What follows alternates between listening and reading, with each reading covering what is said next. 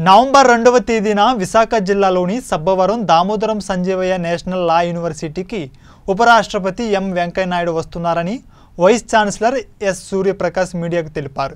ఈ సందర్భంగా ఆయన మాట్లాడుతూ ఉపరాష్ట్రపతి వెంకయ్యనాయుడు ఆజాద్గా అమృత్ మహోత్సవ కార్యక్రమంలో పాల్గొంటారని ఎంతోమంది మహానుభావులు దేశానికి త్యాగం చేసి అమరవీరులుగా నిలిచిపోయారని వారి జ్ఞాపకార్థం అమృత్ మహోత్సవం చేసుకోవడం జరుగుతుందని తెలిపారు.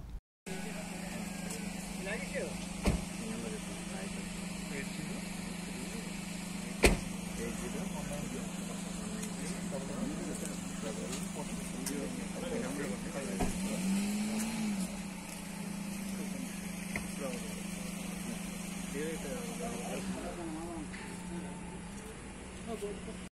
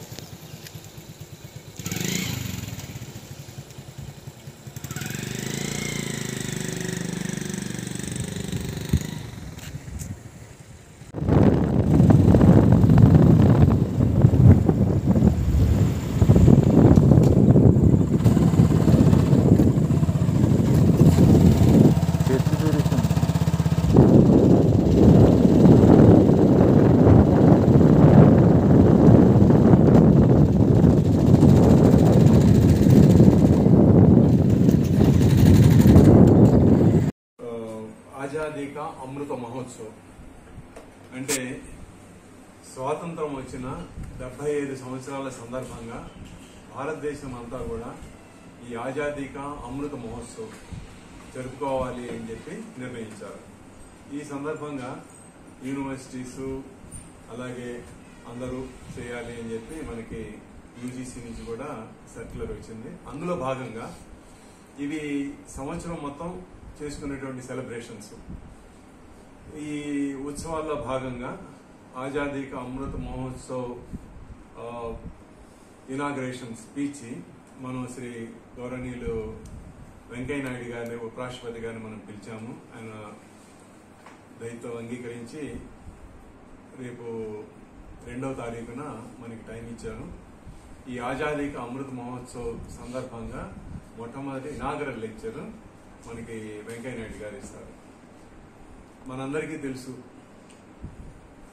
మనకి స్వాతంత్రం కోసం ఎంతోమంది తమ ప్రాణాలు తమ యొక్క సర్వస్వం కూడా దేశానికి దేశం స్వాతంత్రం కోసం త్యాగం చేశారు. ఎంత మనం గనక చూసినట్లయితే అత్యంత పిన్న వయస్కుడు బాజీరావు పన్నెండు సంవత్సరాలు. అలాగే బ్రిటిష్ వాళ్ళు డెబ్బై రెండు డెబ్బై నాలుగు సంవత్సరాల వృద్ధులను కూడా తీశారు. వీళ్ళందరినీ కూడా ఈ స్వాతంత్ర సమర యోధులు అమరవీరుల్ని కనీసం మనం ఒకసారి సంస్- సంస్మరించుకొని వాళ్ళు చేసినటువంటి త్యాగాలకి మనం రుణపడి ఉన్నాము. అలాగే వాళ్ళు చూపినటువంటి అసమాన ధైర్య సాహసాలు మనం గుర్తు చేసుకుంటూ వాళ్ళు చూపినటువంటి త్యాగం వాళ్ళు జీవితాలనే త్యాగం చేశారు. వాళ్ళ నీతి నిజాయితీ.